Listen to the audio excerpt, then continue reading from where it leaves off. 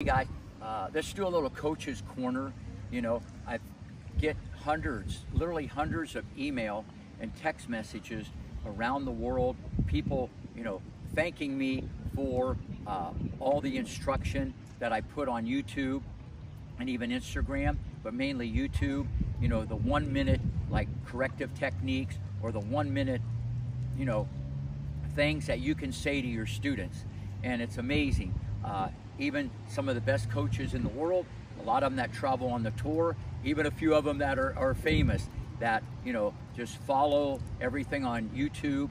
And the best compliment you can get is as a coach, a role model, or teacher that you can share with others. And at this stage of the game, you know, I've been fortunate to work with so many great players and I've studied this stuff inside out and have all this background in biomechanics, teaming up with the great Brian Gordon.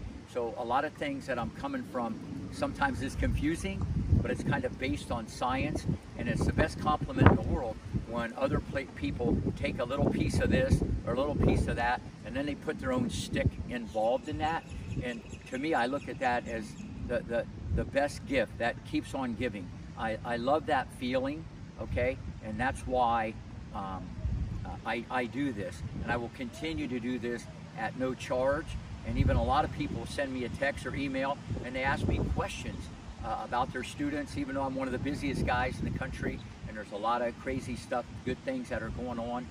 The instruction I'm able to share with coaches, parents, and players, even if it's one little thing, one little thing, that could make the difference. Because as you go down that yellow brick road, it's all about the details. So I would just like to thank all the coaches that follow on YouTube or Instagram or that stay in contact with me that uh, not everybody knows everything and we can all learn from each other no matter what age or what level.